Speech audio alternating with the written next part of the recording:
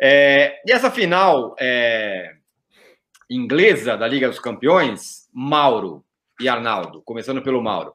Primeiro, é a, é a volta do Guardiola a uma final de, de, de Liga dos Campeões, então, portanto, é, é, o cara se recolocando no lugar, porque todo mundo fala, ah, ele é bom, mas não ganha Champions, não sei o que, tal, tá, tem mais, um final, mais uma final, ele pode ganhar.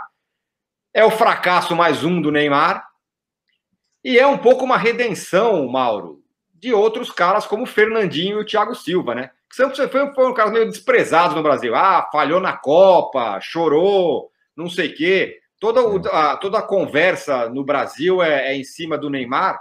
E tem uns caras aí que são ótimos jogadores, estão meio desprezados, estão aí na final. Tudo bem? Salve, salve, âncora Arnaldo, galera que acompanha mais uma Soft Open. Olha, eu acho assim que esses jogadores, esse desprezo, esse tratamento só passa só aqui no Brasil, né? Isso, Porque isso. lá fora os caras seguem com muito prestígio.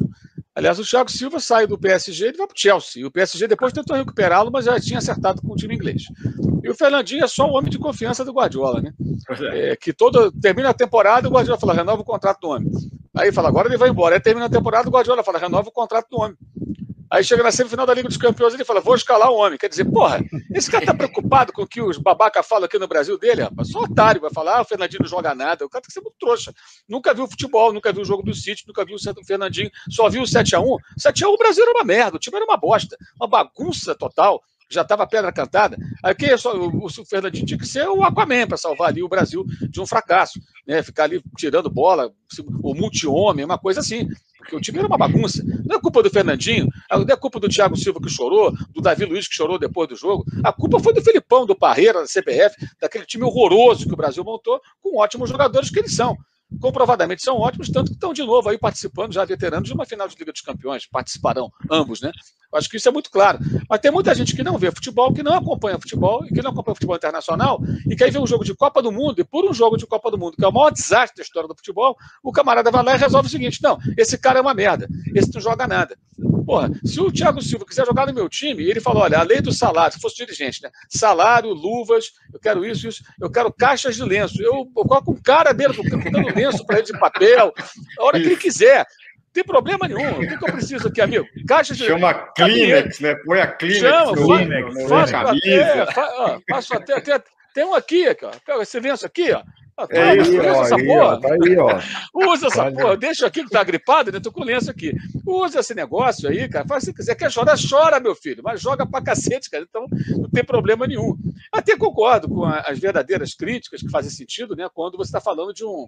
De um uma atuação ruim. Então, claro, lógico, todos ali mereceram ser críticos, mas você rotular um jogador é, é, como o Fernandinho, como o, o Thiago, como se o cara fosse uma bosta, um acabado, quer dizer, esse é, é o fim da picada, entendeu? Eu acho um negócio patético.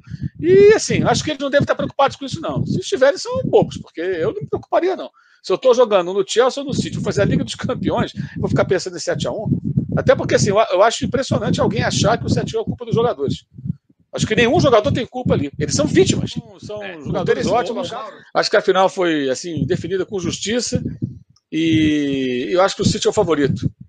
Uhum. Acho que o City é o favorito da final. Acho que é um time mais, mais maduro. Mas é um jogo só, né, meu irmão? Aí pode acontecer é. qualquer coisa, mas acho que o City chega mais, mais preparado para essa final. O, o, Chelsea é quase que, não diria acidental, mas assim, é um negócio que era pouco provável, né?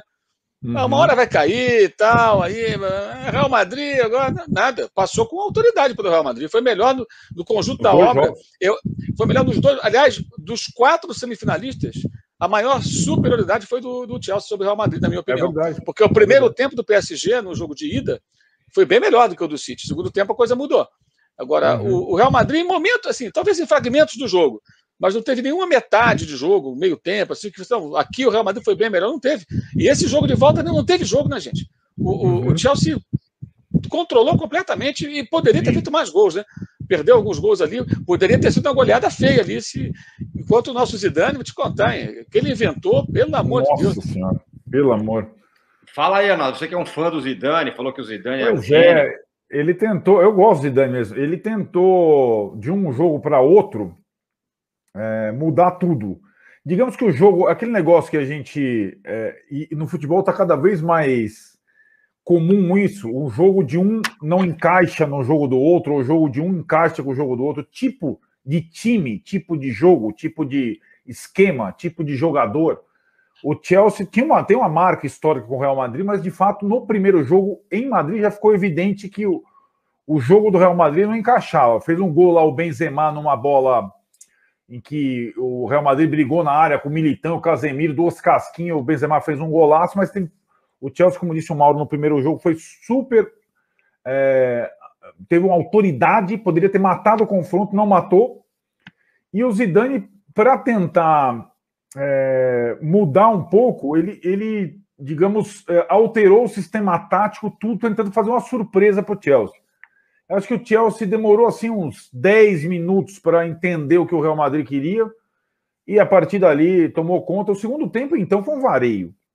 Primeiro tempo, até quando o Chelsea fez o gol no contra-ataque, o Real Madrid tinha o domínio da posse de bola, estava sem criar muitas chances.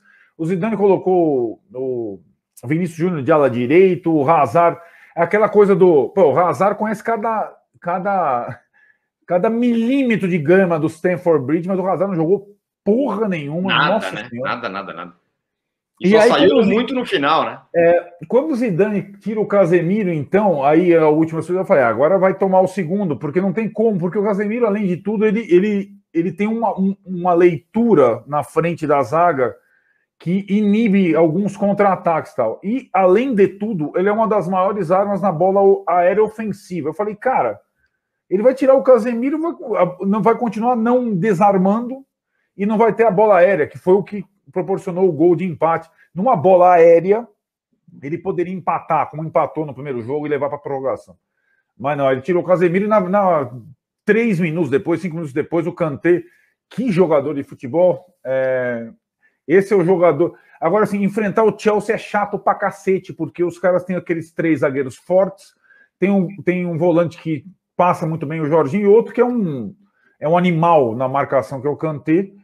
É, Na verdade, se você for pensar bem, o ala direito do Chelsea, que é o Aspilicueta, o capitão do time, ele jogou várias vezes como terceiro zagueiro. Então, o Chelsea joga com quatro zagueiros, dois volantes e três caras rápidos na frente. E a principal preocupa- preocupação do time é não tomar gol. Eu entro em campo para não tomar gol, né?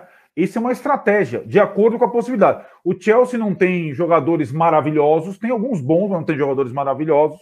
Tem um time forte e assim. E aí é curioso, né? O Mauro estava falando da questão do Neymar e tal, e do Thiago Silva, né? Que saiu do PSG para decidir a Champions, e o, e, e o Tuchel. Os caras do PSG deram um pé na bunda do cara no meio da temporada. O cara tá na final da Champions League, cara. É demais. cara, é Exatamente, demais. Exatamente.